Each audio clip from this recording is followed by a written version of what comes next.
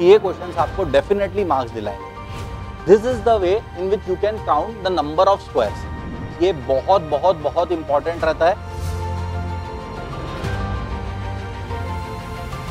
Hello friends एक नई चीज़ हम पढ़ लेते हैं कि हमको अगर ग्रिड में, अगर हमको ग्रिड अब ग्रिड का मतलब क्या होता है ये मैं तुम्हें सिखा रहा हूँ, है ना? तो नंबर ऑफ़ स्क्वायर्स अगर हमको ग्रिड में सॉल्व करना है नंबर ऑफ़ स्क्वायर्स अगर हमको ग्रिड में काउंट करना है तो हम कैसे करेंगे ये हम देखते हैं। तो सबसे पहले तो मैं टू क्रॉस टू की एक ग्रिड बना लेता हूँ, ठीक है? टू क्रॉस टू की एक ग्रिड बना लेता हूँ। टू क्रॉस टू की ग्रिड में अगर हमको नंबर ऑफ़ स्क्वायर्स पूछा किसी ने तो definitely it will be one two three four and a bigger square that will be equal to 5 okay? And that is nothing but 1 square plus 2 square, okay? If someone ask me कि एक 3 cross 3 grid में कितने squares होंगे so the answer will be one square plus two square plus three square and that is coming out to be 14 okay अगर किसी ने मुझको four cross four grid में पूछ लिया, अगर किसी ने मुझे 4 क्रॉस 4 ग्रिड में पूछ लिया, कितने स्क्वायर्स होंगे तो answer will be 1 square plus 2 square plus 3 square plus 4 square and that will come out to be 30 okay? So, this is the way in which we can solve number of squares for square grid. Square grid का मतलब यह है कि number of rows and columns equal होंगे। अब तुम बोलोगे, sir, ठीक है, ये तो हम कर लेंगे। पर अगर रोज एंड कॉलम्स अनइक्वल हो तो क्या करेंगे? तो आओ, वो सीख लेते हैं एक बार।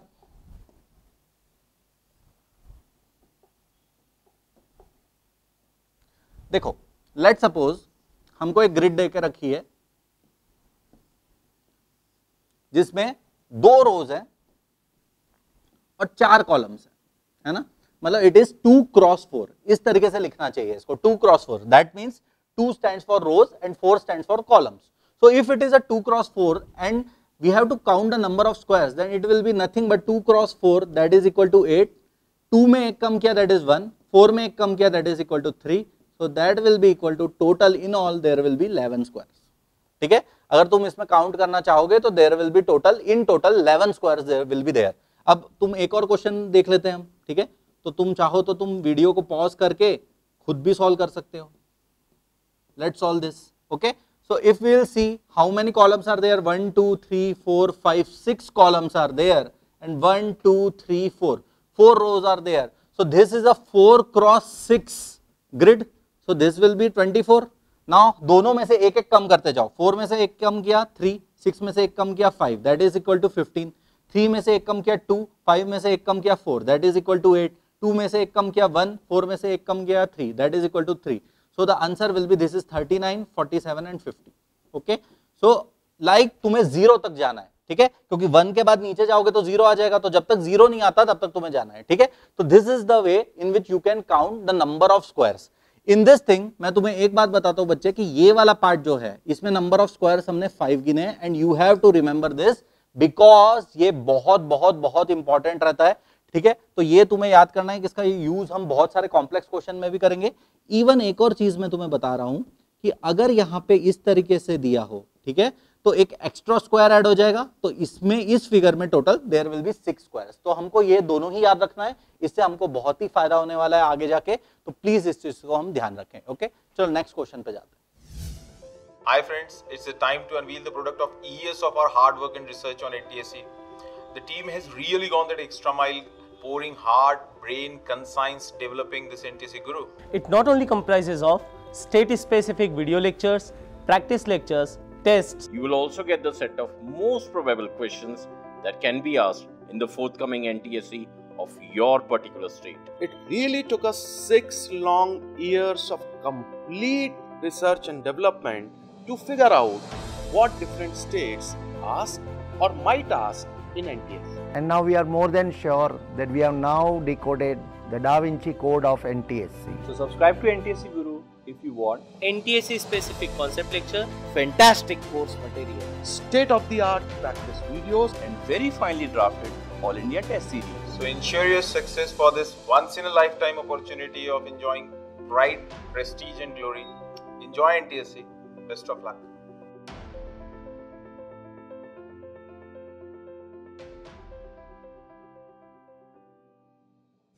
आओ बच्चों, एक बार देख लेते कि अगर हमको कोई ग्रिड लाइक स्ट्रक्चर दिया हुआ है और हमको नंबर ऑफ़ रेक्टेंगल्स काउंट करना है तो how we are going to solve that so let suppose we have been given a grid like this, okay?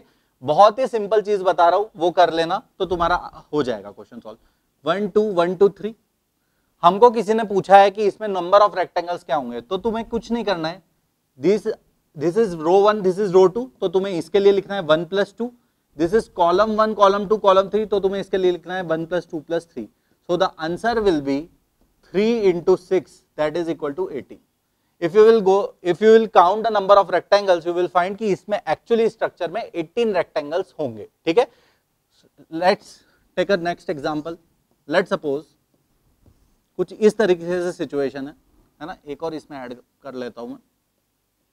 तो अगर हम देखते हैं कि इसमें अगर हम बात करेंगे तो कितनी रोज है? One two three four five rows है है ना? और कॉलम्स देखेंगे तो one two three four columns है, ठीक है? तो अगर हमको किसी ने इसका रेक्टेंगल्स पूछे कि नंबर ऑफ़ रेक्टेंगल्स क्या है तो इसको करने का तरीका क्या है? One plus two plus three plus four plus five into one plus two plus three plus four अब इसको करने का शॉर्ट फॉर्म शॉर्ट तरीका क्या होगा बच्चे? कि हम इसका फॉर्मूला लगा दें। कैसे लगाएँगे? जैसे यहाँ पे हाईएस्ट रो है फाइव तो लिख देंगे five into six by two ठीक है? और इंटू यहाँ पे हाईएस्ट वैल्यू है फोर तो four into five by two तो अगर किसी ने मुझको अब पूछ लिया कि एक ग्रिड है, बहुत सारी ग्रिड बना देते हैं यहाँ पे, है ना? हमको बोला ये ग्रिड है सिक्स क्रॉस एट मतलब यहाँ पे छह रोज है और आठ कॉलम्स है और नंबर ऑफ़ रेक्टेंगल्स पूछा है तो डायरेक्टली आंसर क्या आ जाएगा? Six into seven by two into eight into nine by two okay and this will be the final number of rectangles so if someone ask me एक formula ही हम अगर derive करना चाहें कि अगर एक ग्रिड हमको देके रखी है है ना? एक ग्रिड देके रखी है जिसमें एन रोज है और एम कॉलम्स है और टोटल नंबर ऑफ़ रेक्टेंगल्स हमको पूछा है तो directly we will say it is equal to n into n plus one by two whole into m into m plus one by two okay this will be the number of rectangles तो अब हमने grid में squares गिनना सीख लिया है, हमने grid में रेक्टेंगल्स गिनना सीख लिया है।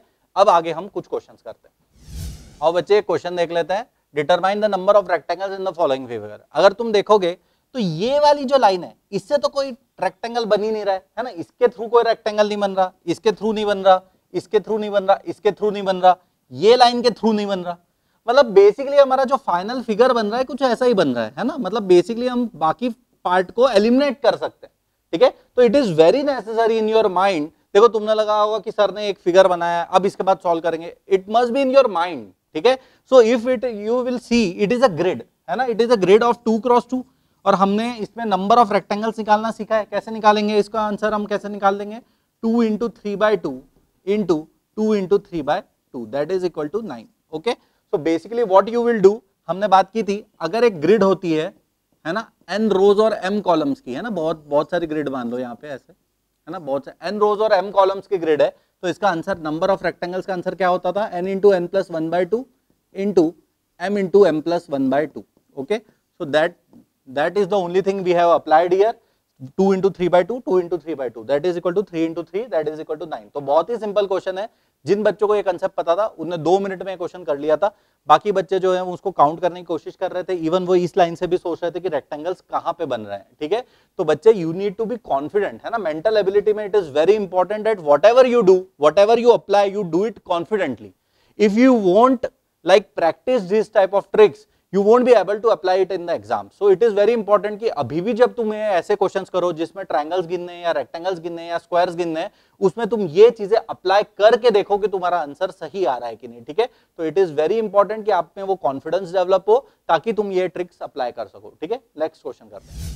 आओ बच्चे, एक और क्वेश्चन देखते हैं जो कि एनटीएससी राजस्थान 2017 में पूछा गया है और अगर तुम देखोगे तो हमको इसमें नंबर ऑफ़ स्क्वायर्स काउंट करने हैं इस ग्रिड में। अब ये क्वेश्चन बहुत ही सिंपल है सिंपल सी बात है कि ये जो लाइन यहाँ पे आ रही है, इससे तो कोई स्क्वायर बन ही नहीं सकता। मतलब बेसिकली हमको जो स्क्वायर काउंट करना है, वो इस ग्रिड से काउंट करना है।